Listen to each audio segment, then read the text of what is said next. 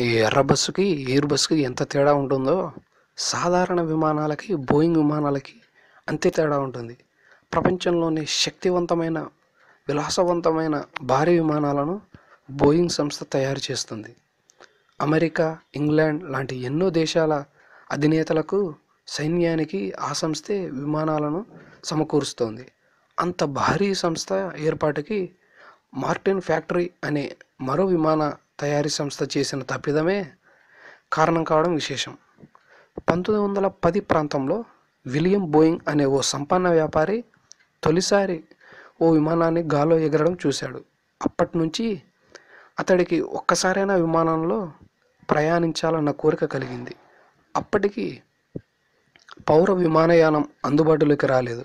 దాంతో ఐదారేళ్ళు కష్టపడి కొందరు ప్రముఖులతో పరిచయాలు పెంచుకొని చివరికి ఓ మిలిటరీ అధికారి సాయంతో తొలిసారి విమానంలో కాస్త దూరం ప్రయాణించాడు. ఆ దెబ్బతో విమానాలపైన మూజ అతడికి మరింత పెరిగిపోయింది.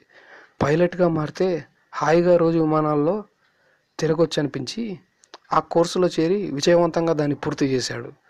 తరువాత తన ఆస్తిలో కొంత భాగాన్ని అమ్మేసి మార్టిన్ ఫ్యాక్టరీ అనే సంస్థ నుంచి ఓ చిన్న ప్రైవేట్ జెట్ కొనుక్కున్నాడు.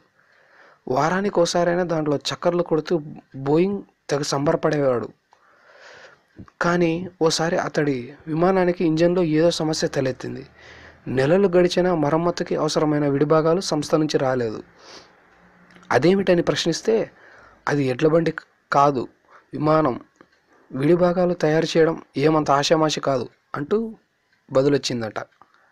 దాంతో బోయింగ్కి విపరీతంగా కోపం వచ్చింది నిజంగా వాటి తయారీ అంత కష్టమా అన్నది తెలుసుకోవడానికి బోలెడు డబ్బు ఖర్చు చేసి కొంతమంది ఇంజనీర్ల సాయంతో సొంతంగా అతడే ఆ ఆ విడిభాగాలను తయారు చేశాడు.